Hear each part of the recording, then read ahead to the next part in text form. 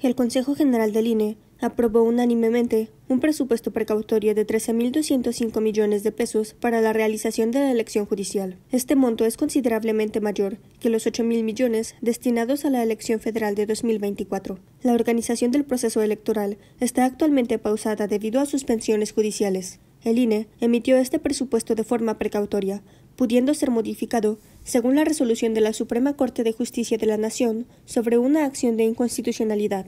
La presidenta del INE, Guadalupe Tadei, explicó que el presupuesto se proyectó basándose en análisis previos y considera aspectos como la adquisición de material para casillas y boletas. La consejera Claudia Zavala mencionó que el presupuesto se ajustará si hay cambios en las resoluciones judiciales, mientras el diputado Sergio Gutiérrez Luna de Morena exhortó a buscar alternativas para hacer más económico el proceso sin sacrificar calidad.